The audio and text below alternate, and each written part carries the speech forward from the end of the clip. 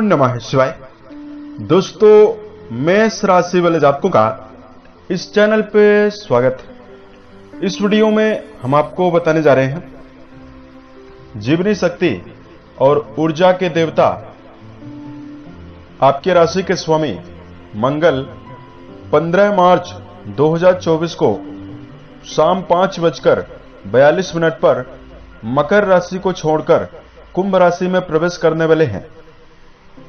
और 22 अप्रैल 2024 तक मंगल कुंभ राशि में ही गोचर करने वाले हैं।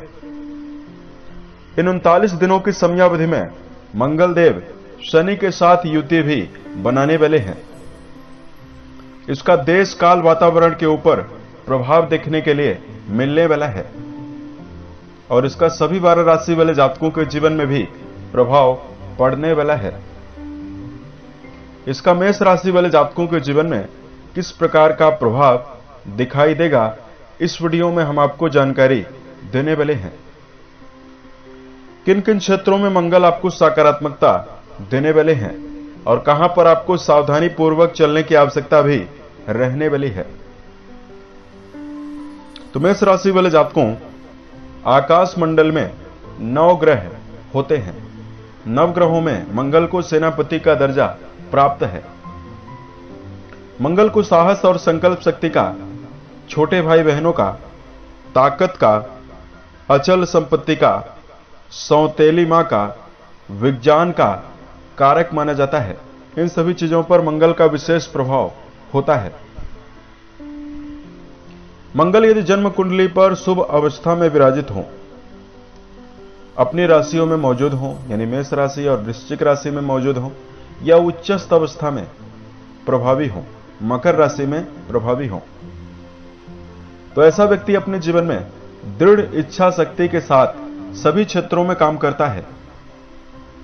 मंगल का बली प्रभाव भिन्न भिन्न वातावरण में डटे रहने की अभूतपूर्व क्षमता प्रदान करता है। वहीं मंगल अगर मज़बूत हो तो खेल, सेना, शारीरिक प्रतिस्पर्धा से जुड़े हुए क्षेत्रों में कम प्रयासों में सफलता मिलती है। बलि मंगल का प्रभाव सभी प्रकार के मान सम्मान की स्थिति को भी दिलवाता है और परिवारजनों का भरपूर सहयोग भी दिलवाता है। वहीं दूसरी ओर, मंगल अशुभ ग्रहों के साथ प्रभावी हो या जन्म कुंडली में मंगल खराब अवस्था में, नीचस्थ अवस्था में विराजित हो, डिप्रेशन मान सम्मान की कमी, अल्सर, ट्यूमर, रक्तचाप फोड़े फुंसी की समस्या, बीपी की समस्या शरीर में होती है। और मंगल अगर कमज़ोर हो तो छोटे भाई बहनों के साथ संबंध भी खराब रहता है। तथा जीवन में ज़मीन जायदाद से संबंधित मुकदमेबाजी में केवल धन का नुकसान होता है, लेकिन जीवन में विजय नहीं मिल पाती है। अब आइए हम आपको बताते हैं कि मेष राशि वाले जातकों के जीवन में किस प्रकार का प्रभाव मिलेगा और कहाँ पर आपको सावधानी पूर्वक चलने की आवश्यकता भी इस समयावधि में रहने वाली है। यह फलादेश आपके जन्म राशि के ऊपर प्रभावी है तो आप इसे इसी आधार पर देखें। मेष राशि वाले जातकों, मंगल आपके प्रथम भाव और आपके अष्टम भाव के स्वामी होकर दिनांक 15 मार्च 2024 को आपके एकादश भाव में प्रवेश करने वाले हैं। कुंडली का जो एकादश भाव है, वो काफ़ी महत्वपूर्ण भाव कहा जाता है। इस भाव से लाभ, कर्म के द्वारा उपार्जित धन, मनोकामनाओं की पूर्ति के बारे में, ज्येष्ठ भ्राता यानी बड़े भाई के बारे में, पुत्र वधु के बारे में विचार किया जाता है। आपके एकादश भाव पर मंगल की मौजूदगी आपको कई प्रकार का शुभ परिणाम देने वाली है। सबसे पहले तो इस समयावधि में मेष राशि वाले जातकों के जीवन में, चूँकि आपके राशि के स्वामी मंगल लाभ भाव पर मौजूद हैं। तो कर्म क्षेत्र में आपको संतुष्टि और सकारात्मक परिणाम भी आपको देने वाले हैं। मेष राशि के ऐसे जातक जो वर्तमान समय में किसी प्रकार की नौकरी कर रहे हैं। नौकरी पेशा जातकों के मन में उल्लास की भावना का विकास होगा और ज़बरदस्त सफलता आपको मिलने वाली है। देखिए, मंगल और शनि युति बनाकर दोनों ग्रह गोचर कर रहे हैं और दोनों ग्रह एक ही नक्षत्रों में 6 अप्रैल के पश्चात प्रभावी होने वाले हैं। ये समय आपके जीवन में बहुत ही खास परिणाम आपको देने वाला है। मेष राशि वाले जातकों के जीवन में धन की वृद्धि, कई स्रोतों से धन लाभ की प्रबल संभावना आर्थिक दृष्टिकोण से नज़र आ रही है। राशि के स्वामी आपके लाभ भाव पर प्रभावी हैं, जिनकी चतुर्थ दृष्टि आपके धन भाव पर जाने वाली है।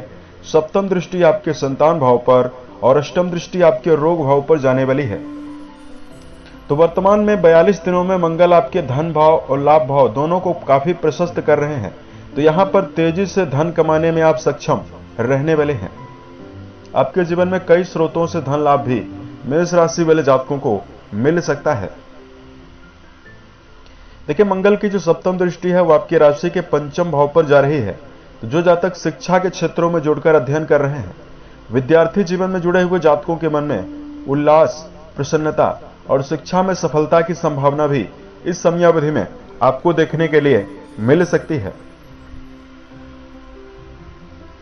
यदि आप रिलेशनशिप में जुड़कर चल रहे हैं तो मंगल की अनुकूल दृष्टि आपके पंचम भाव पर जाएगी।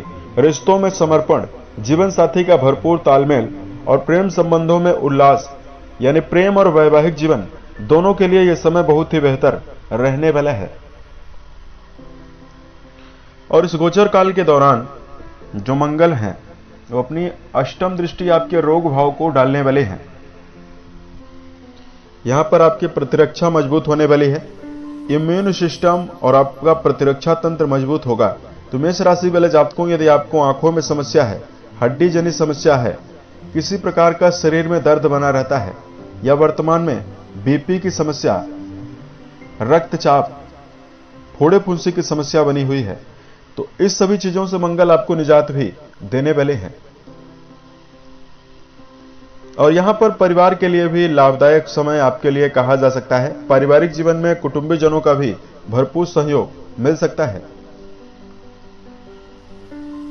सावधानी क्या रखनी चाहिए? देखिए, शनि और मंगल देव की युति बनी हुई है। तो यहाँ पर आपको अपने जीवन में वाणी के द्वारा कड़वे शब्दों का प्रयोग जीवन में नहीं करना है। नपे तुले शब्दों का आपको ज़्यादा प्रयोग करने की आवश्यकता रहने वाली है। और दूसरा मेष राशि वाले जातकों को अपने व्यक्तिगत जीवन में बड़े बुज़ुर्ग व्यक्तियों के अनुभवों को मानना, अनुभवी व्यक्तियों की राय लेना श्रेष्ठ रहने वाला है। शॉर्टकट तरीके से भी काम करने से आपको बचने की आवश्यकता इस समय अंतराल में रहने वाली है। उपाय की जानकारी दिया जाए। मंगल आपके राशि के स्वामी हैं, आपकी राशि को नियंत्रित रखने का काम करते हैं। तो इस समयावधि में यदि आप सुंदरकांड या हनुमान चालीसा का पाठ करते हैं तो स्थिति आपके जीवन में शुभ बनने वाली है। मंगल जनित सभी प्रकार के दुष्प्रभावों को जीवन से दूर करने के लिए मेष राशि वाले जातकों को मंगल का दान करना चाहिए। जैसे यदि आप गेहूँ, तांबा, गुड़, खांड, इन चीज़ों का दान किसी सात्विक ब्राह्मण को पूर्ण रूपेण श्रद्धा दक्षिणा भाव से करते हैं तो स्थिति आपके जीवन में शुभ बनने वाली है। मंगलवार के दिन यदि आप हनुमान मंदिर में जाकर हनुमान चालीसा का पाठ करते हैं, लाल ध्वज यदि आप फहराते हैं तो स्थिति आपके जीवन में शुभ बनने वाली है। उम्मीद है यह जानकारी मेष राशि वाले जातकों को बेहतर लगे। आने वाले समय में यदि आप अन्य वीडियोस को देखना चाहते हैं, इस चैनल को सब्सक्राइब ज़रूर करें। ओम नमः शिवाय।